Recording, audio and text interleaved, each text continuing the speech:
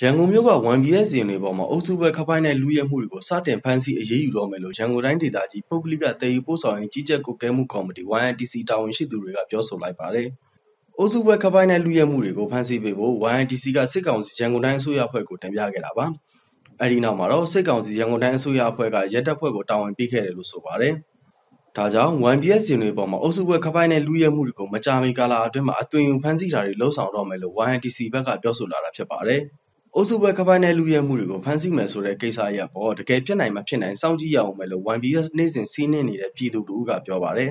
။ရဲတွေအတွင်ယူပြီးတော့ဖမ်းမယ်ဆိုတာအရင်ကလည်း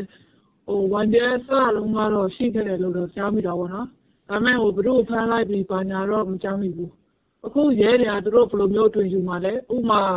သူတို့အတွင်ယူနေတဲ့ကားပေါ်မှာမှဒီကပိုင်းနိုင်ကိုတွေ့ယူပဲထားရောသူတို့ကိုယ်တိုင်ဖမ်းမှာလား။ဖမ်းပြီးတော့ရောဘ ယ်လိုမျိုးဆက်လုပ်မှာလဲဒါတွေကသူတို့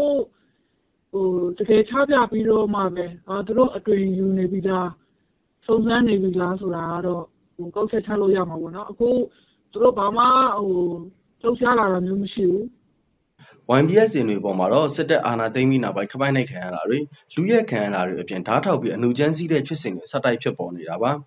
ရန်ကုန်မြို့တွင်မှာ YBS ရင်လိုင်းပေါင်း133လိုင်းနဲ့ရင်စီးရေ3000ကျော်ပြေးဆွဲနေပြီးနေ့စဉ်ခီးတဲ့6သိန်းကျော်စီးနှင်းသွားလာနေရတာပါ။ဒါပေမဲ့ YBS စီးနှင်းသူပြည်သူတွေကစစ်တပ်အာဏာသိမ်းပြီးနောက် YBS စီးနှင်းရမှာဘဝမလုံခြုံမှုပြဿနာကိုအကြီးအကျယ်ရင်ဆိုင်နေရပါတယ်။